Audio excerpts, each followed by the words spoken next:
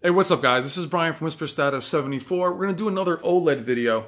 And the reason why I want to do a video on OLED is, again, I'm getting comments every single day about OLED and they're in that love and hate thought process. People that have them love them, or people that have had them hated them, sent them back.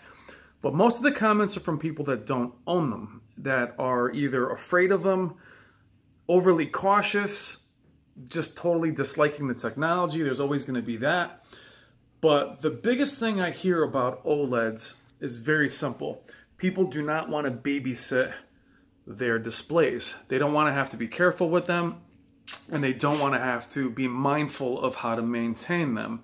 And I want to talk about that particular part of this video. That's really the subject of the video. Now, I'm filming this um, I'm actually showing you a plasma. I don't own an OLED myself. Several people I know that have them, that have bought them on my recommendations, have had all kinds of success with them, but they are careful with them. They do treat them like very, very high-end pieces of technology. What I mean is they're mindful as far as screensavers, varying their content, changing their gaming habits as far as playing long, long gaming sessions with a static HUD on the screen. Even things like Netflix menus, moving them around, putting screensavers on all of their equipment, including their cable boxes, TV menus, everything. Now, that sounds to a lot of you to be too much maintenance and a lot of work. Now, why am I showing you a plasma? As plasma had the exact same issue as OLED, image retention, burn-in. Image retention is also not permanent, meaning it'll ghost for a little while, then it'll fade away. Burn-in is burns in, and that's just where it is, and it doesn't go away.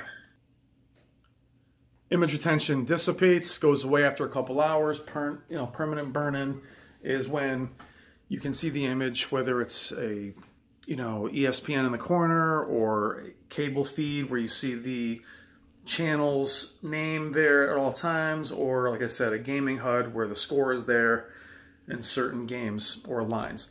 What's ironic is the phone that I'm actually using to film this is a Samsung Galaxy S9 Plus, and it has horrible burn-in. Wish I could show it to you, but you can see the YouTube line in it. You can see it right now as I film it, actually with the camera on. You can see the squares, you can see the typing from returning the comments on YouTube. So, you know, these things aren't on for hours and hours and hours, and it still burns in. So, I think it's a little bit unavoidable in terms of phones, but when it comes to TVs, the question is, or the statement is, I don't want to babysit my TV. Now, I want to know in the comments, for those of you that have OLEDs or have had them, what you feel about that, that statement. Do you feel like you have to babysit it? Do you feel like it's a lot of work? Um, do you feel that it's too much work? Is it dependent on children? Is it dependent on your spouse, your partners, your roommates? Do you feel like you can't trust them when you leave the house? Do you feel that that's too much work? Now, my side of it, having a plasma, I've had plenty of those moments where I've left the house and have panicked, leaving um, a TV or a certain game system on in the menu. Now, remember when I bought the plasma years ago, there wasn't screensavers on a lot of the systems. At least they weren't, you know, so there was that fear of, oh my God, I've made the phone call to my wife to say, go upstairs and turn the TV off. I've fallen asleep with the TV on. Now you can negate this with screensavers or sleep timers. You can do that, but for a lot of you, it is way too much work. Now, I want to hear your opinions in the comments. Is it too much work? Um, is that going to deter you from the picture quality that OLEDs offer? Um, is that is that something that's going to really deter you from spending that much money? Now I understand that the people that have very young kids that watch Nickelodeon and have all those static images in the corner where the TV is on for hours and hours and hours. I definitely do not recommend OLED for those people, um, or people that their kid plays Fortnite constantly in the same game over and over and over. I don't recommend that. But my argument as far as them being high maintenance or something that you have to maintain is this anything high end, anything that you spend a great deal of money on is going to be delicate. If you have a Mercedes, you have an Audi, you have a BMW, you have a higher end vehicle, you can't put regular gas in that car. You can't. You shouldn't. So, are you not going to buy a Mercedes or buy an Audi or buy any of those cars that I mentioned because you don't want to spend money on the gas or you think it's foolish to put the wrong gas in? Is regular gas too much work to have to put that in instead of the ultra gas? So, you can go against the manufacturer and put the other gas in and then deal with the problems after having a PC, owning a PC. PCs need to be maintained. You can't treat them like consoles. They need to be cleaned out. They need to be in a better space than a console. So is the PC too much work? So when I talk about high maintenance things, forget about going back to cars. If you had an exotic, if you had a Lamborghini, a Ferrari, do you think you can just drive that like any other car? You'd last a few days before it would break down. So my argument and how I feel about it is if you're going to spend the money and get high-end technology, high-end anything is to treat it delicately, to treat it with some care. And that is just my how I feel about it. If you're somebody that doesn't want to do that and doesn't feel that you shouldn't be able to do that, then that's fine. There's no problem with purchasing any other technology. I just don't think it should be a nick on the or a negative on the technology itself that it needs to be maintained a certain way.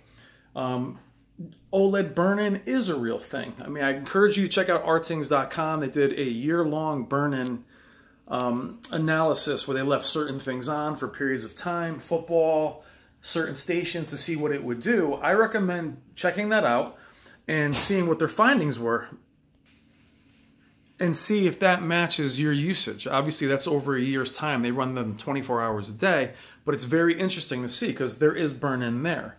But back to the initial part of the video is, is that going to be too much for you? What camp do you fall in? Do you basically say, look, I want a TV, I want it to be able to do everything I want it to do, and I don't want to be limited by if I leave it on too long? Or are you with the camp that is fine with treating it with delicate hands and making sure that you're mindful of its drawbacks. Plasma, I have a plasma here. I have two small children, and do I have any burn-in? I don't. This plasma was in a dedicated media room for most of its life. It's been upstairs in this living room now for a couple years, and its usage isn't used as much as a lot of people. So is there burn-in? There isn't, but they're not on the TV very long. This TV doesn't run. I don't watch much cable TV at all. So I've been able to manage it. But is it on all day long? No, they know not to leave it on all day long. So back to you guys. What are your thoughts? Let me know if you think you've spent the money and you should be able to treat it however you like. And if it does break, it's, it's purely the manufacturer's fault. Or do you find something like OLED to be akin to having a higher end vehicle that needs a certain kind of gas and a certain kind of maintenance. If you buy something cheaper, yeah, so you can beat the hell out of it. But I can't treat my PC the way I treat my Xbox. I treat everything fine, don't get me wrong, but I really have to be more mindful of the PC than I do my Xbox. I have to be more mindful of this plasma than I have my 900E. So OLED buyers that are thinking about it, please check out the comments, see what OLED owners and former OLED owners say in the comments. Please get in those comments. Let me know what you think.